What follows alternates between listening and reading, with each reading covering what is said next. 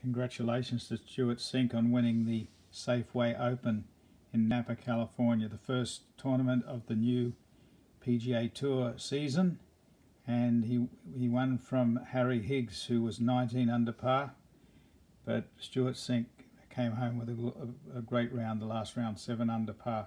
So let's have a look at his swing. It's a classic swing. He's 47 years young, and this swing lasts a lifetime. So let's just see it at normal speed you'll see everything that we recommend in a golf swing. The waggle, tap, tap, tap, little forward press, take away, and a complete flowing motion. You'll see there definitely no sway forward there. The left leg really straightens up and a full turn through the shot. What you'll notice also, the waggle. Always in motion and a classic golf swing. Very good. Congratulations, Stewart Cink. Great win. He's now got three-year exemption.